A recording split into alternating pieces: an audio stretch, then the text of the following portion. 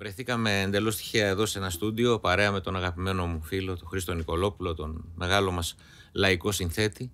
Και επειδή πολλοί φίλοι μας που έχουν βρεθεί σε συναυλίες μας έχουν έρθει στα παρασκήνια πριν τη συναυλία και μας έχουν δει τι κάνουμε, μας το ζήτησαν αρκετές φορές μέχρι τώρα ότι ρε παιδιά, αυτό βγάλτε το προς τα έξω, να το δούμε κι εμείς οι υπόλοιποι.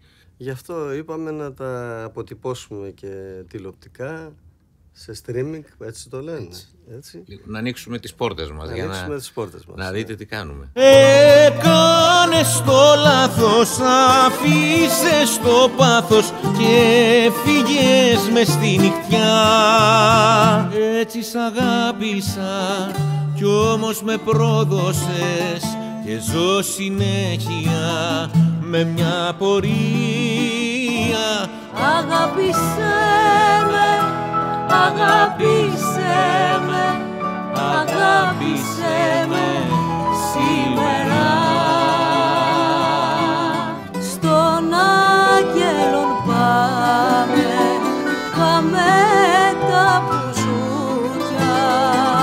Σαν σκηνές από ταινία προσεχώς Και φούμα φούμα στα βοτσαλάκια. Αγίους έβλεπα και αγγελάκια. Είχα το όνειρό μου, το ποδήλατό μου Κι όλα έμοιαζαν σωστά. Χίλια μίλια παραγαδιά Ήταν λάθος τα σημαδιά Ήρθαμε γυαλό Αλλά που μυαλό. Κι αυτό κάτσε καλά Κοίτα λίγο χαμηλά. Η ζωή κατρακυλάει μη λες πολλά